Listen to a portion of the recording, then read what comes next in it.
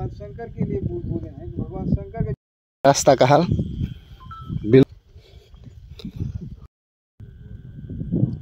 तो दोस्तों तो फिर से स्वागत है आपका हमारे एक और नए ब्लॉग में। और अभी हम हैं अपने दियरी पे, क्योंकि अभी आए हैं एक साधु जी को दूध लेकर आए थे, क्योंकि सुबह में हम लोग का भिक्षा कराए थे हम लोग। तो वो साधु जी केवल सुबह में एक टाइम खाते हैं और रात के समय में एक नरियरी दूध लेते हैं, जो नरियरी का साइज़ होता है।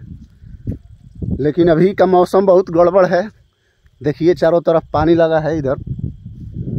पूरा बारिश हो रहा है अभी भी, लेकिन हम लोग आए हैं यहाँ पे। और ये हम लोग के तरफ़ का दियरी है। और पीछे में देखिए, शिवपुर गंगा घाट का जो पुल बन रहा है, वो दिखाई दे रहा है आप लोगों को। और उधर हम लोग का गाँव है। और अभी हम जा रहे हैं दूध लेकर।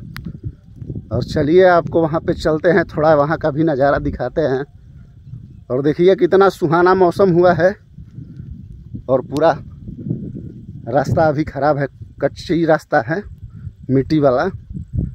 लेकिन वहीं पे साधु जी रहते हैं, और इनका नाम है मौनिया बाबा। तो दोस्तों, अभी हम लोग लेकर जा रहे हैं दूध, और देखिए वहाँ पे सामने में आप लोगों को अभी दिखाई दे रहा होगा एक छोटा सा घर है। और रात के समय में भी अकेले यहाँ पे रहते हैं। और यहीं पे भगवान का नाम जप करते हैं अपना। और जो भक्त लोग हैं, श्रद्धालु लोग हैं, वो भिक्षा कराते हैं उनको। और देखिए, चारों तरफ़ में बिल्कुल सुनसान कोई घर नहीं है, क्योंकि ये दियरी है। और वहीं पे हम जा रहे हैं अभी। हम धीरे धीरे उनके नज़दीक पहुँच रहे हैं। और थोड़ा हम लोग तेज़ चल रहे हैं क्योंकि बारिश भी हो रहा है। तो जल्दी जल्दी जाएँगे और वहाँ पे दूध दे करके फिर जल्दी में ही वहाँ से निकलेंगे। नहीं तो बारिश आ जाएगा तो हम लोग आए हैं अपना मोटरसाइकिल ले करके तो घर पे नहीं पहुँच पाएँगे क्योंकि रास्ता बहुत ख़राब है। रास्ता का हाल बिल्कुल कच्चा है। पाँख है इधर, कीचड़ सब है। और इसी में हम लोग जा रहे हैं। और अब धीरे धीरे धीरे धीरे वहाँ पे हम लोग पहुँच रहे हैं। इधर देखिए कितना बड़ा खाई है। क्योंकि ये पूरा दियरी बोला जाता है हम लोग के क्षेत्र का।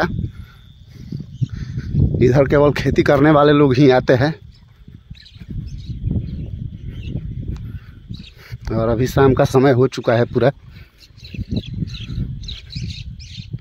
तो देखिए अभी उनके घर के सामने हम लोग आ गए हैं और वहाँ पे साधु जी का आदेश है कि कोई भी मोबाइल नहीं निकालेगा और कोई भी कुछ वीडियो नहीं बनाएगा क्योंकि सोशल मीडिया से ये दूर रहते हैं। लेकिन आप लोगों को थोड़ा सा दिखा रहे हैं यहाँ से। वहाँ पे भी पहुँच के थोड़ा आप लोगों को दिखाएँगे। नहीं हो क्योंकि वहाँ पे कुछ जाकर बोलेंगे नहीं केवल एक थोड़ा सा वीडियो बना लेंगे साधु जी का भी। और आप लोगों को दिखाएँगे।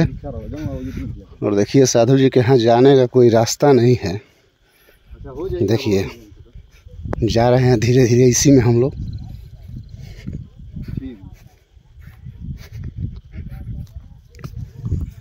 देखिए कितना घूम कर जाना पड़ेगा और देखिए, पैर जहाँ पे रख रहे हैं वहाँ पे पूरा धंस जा रहा है मिट्टी।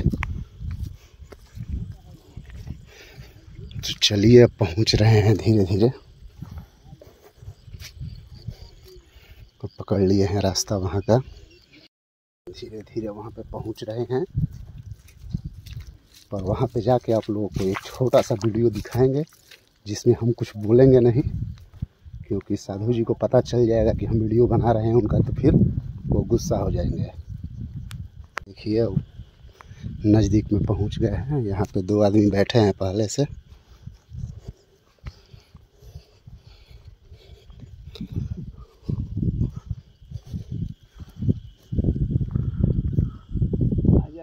ना ना तो को लागल बा तो ये तेल ज़्यादा न रहता है तेल तेल ज़्यादा बात तो ना। भगवान शंकर के लिए बोले हैं। भगवान शंकर के जो चढ़ाओगे वही नहीं पाओगे। भगवान को अच्छी चीज़ चढ़ाओ कि हमें अच्छा प्राप्त होगा। जी, बात समझ रहे। हैं? हाँ हे। तरी बड़नु। हाँ हे तरी रास हे तरी ठीक बा। वो तो ठीक होई हे तरी खूब बढ़िया बा। खाली हो जावा जहाँ गाड़ी लागल बिया नु। उजे पाक बा ओकरा बाद एने ठीक बा। आ ओने त मैं बालू बढ़ले बा ओनियो ठीक बा। ना तनी खाती ठीक बा हमनी खाती हे तो ठीक के एतर निकलत जा। हाँ हित पैदल हम खाती हेतरी बड़ी पाँच बा और पाक बा।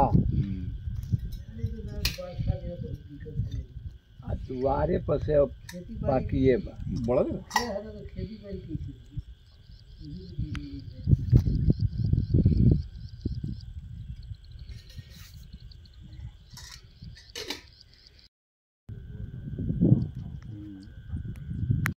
तो अभी साधु जी को दूध दे दिए हैं और वहाँ का वीडियो आप लोगों को दिखाए ना, वहाँ पे कुछ बोलना नहीं था। क्योंकि समझ जाता है, साधु जी की वीडियो बना रहे हैं तो फिर बहुत ज़्यादा गुस्सा हो जाते हैं। और देखिए, वहाँ पे पीछे में उनका घर दिखाई दे रहा है, जो कुटिया है, वहीं पे वो रहते हैं। और मौसम को देखते हुए ज़्यादा हम लोग ठहरे नहीं वहाँ पे, और पहले से दो आदमी बैठे थे हमारे गाँव के, और हम लोग वहाँ पे दूध देकर और प्रसाद लिए। फिर वहाँ से निकल गए हैं हम लोग और अब जा रहे हैं घर। और देखिए कितना भगवान में लीन रहते हैं कि दिन रात वहीं पे पूजा पाठ करते हैं, अकेले रहते हैं।